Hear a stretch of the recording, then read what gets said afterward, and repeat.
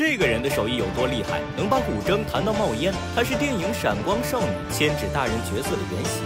一曲《千本樱》作为账号第二条视频，播放量达到四千万以上，从不在视频中露脸，靠手艺征服网友。中国顶级民乐乐团首发的电视节目《国乐大典》也邀请他演奏。这个人就是莫韵，随步摇。网站作品排行第一的古筝大神，用古筝翻奏二次元摇滚音乐，凭一己之力打破了传统。这位大神是九零后，从小学习并热爱古筝，高考时考取四川大学，学习对外汉语。专业，二零一四年刚刚大三，全凭爱好翻奏了虚拟歌手初音未来的《千本樱》，因为惊人的手速，让这段作品成为网友心中的凶残练习曲。后来上传的《全域天下》再次屠榜，他也因此成为电影《闪光少女》中千纸大人的原型。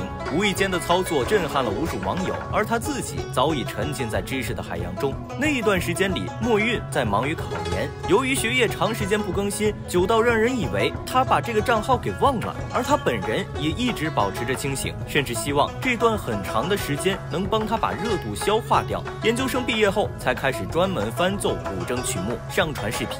他很少在上传的作品中露脸，出镜也戴着面纱，全凭技术打动网友。其实我一直认为网红的技术不会太好，但是他今天其实弹得非常的好，有被震撼到。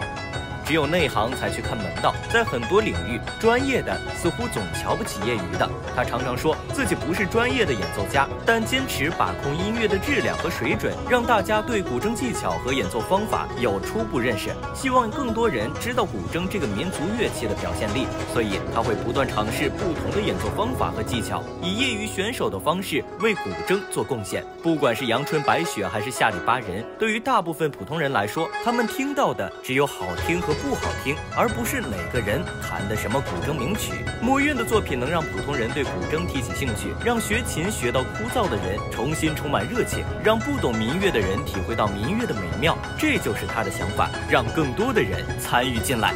这样一种文人音乐的情操，在我们现当代其实一个比较浮躁的社会，是值得我们去传承和弘扬的。就是能够让大家，嗯，静下心来，然后去欣赏我们的音乐，欣赏我们的艺术。现在大众对于中国文化的一种，呃，推崇，其实也是自我认同感的一种表达。所以我觉得，其实现在是一个非常好的风潮。